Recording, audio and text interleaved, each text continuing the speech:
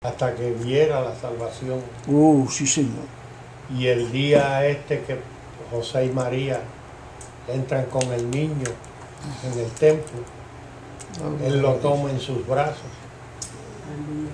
y le dice a Dios, despide a tu siervo en paz, porque mis ojos han visto la salvación. De ahí procede la esperanza de muchos, aún suya, suya y mía, de que muchos no veremos en muerte.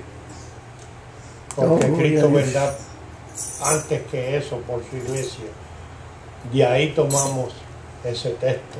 Oh, gloria a Dios, aleluya. Todos esperamos eh, ser transformados, como dice la palabra, en un abrir y cerrar de ojos. Pero ya todos ustedes saben la historia y doy gracias a Dios nuevamente y a mi hermana por exponer la palabra en esta noche. Y esperamos que sigamos intercediendo por aquellos que están ausentes, por aquellos que están enfermos, por una pronta restauración tanto del hermano pastor como de la hermana Carmín. Y por todos aquellos que, que trabajan de noche y que se les hace difícil eh, venir, llegar al templo. Eh, yo sé que, hermano, la mayoría de los que llegamos aquí a este país venimos, venimos con ese pensamiento, con esos planes de trabajar, de ayudar a nuestros padres allá donde, de donde venimos. Y hay veces que el trabajo nos consume una mayoría de tiempo.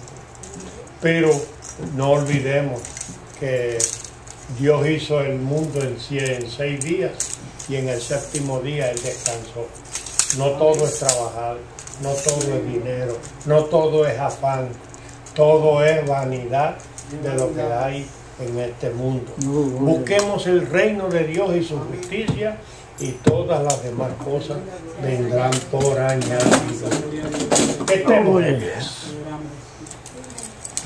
Si en esta noche hubiese alguien que quiere recibir a Jesucristo como su Salvador, yo sé que todos somos salvos aquí, lavados y regenerados en la preciosa sangre del Señor. Pero recordemos, hermanos, que le ofendemos hasta con el pensamiento. Y aún la palabra dice que si aún lo ofendemos, abogados tenemos para con Dios a Jesucristo el Oh, justo, que Él puede limpiarnos y lavarnos y restaurarnos a la posición. Bendito sea Dios. Gloria Dios. Padre bueno y soberano, Señor, Gracias, Señor.